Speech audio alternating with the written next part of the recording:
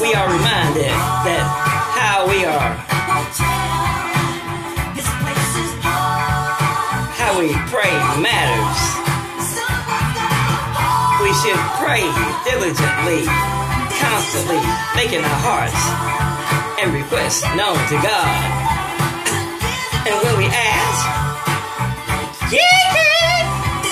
we shall receive.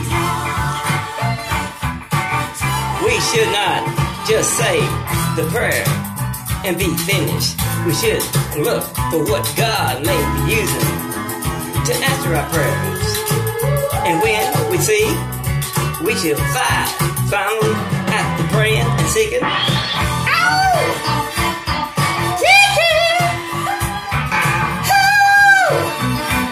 We must continue seeking God without going up, without giving up.